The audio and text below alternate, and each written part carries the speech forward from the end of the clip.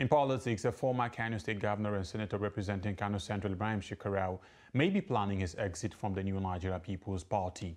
Addressing his supporters in Kano, the senator accused NNPP of reneging on promises made to him and his supporters upon defecting to the party. He also replied the New Nigerian People's Party NNPP presidential candidate Rabiu Musa Kwankwaso on issues that have triggered the crisis in the party's Kano chapter. But Kwankwaso, who is also a former governor and senator from Kano, had in an interview with BBC Hausa said Shekarau's political camp failed to secure seats because they joined the NNPP late.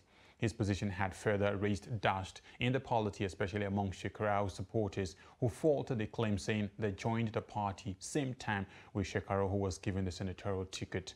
Speaking for the first time on the brewing disquiet, Shekarau, while addressing his supporters in Kano on Monday, said it was not true that his supporters joined the NNPP late, as stated by Kwankwaso.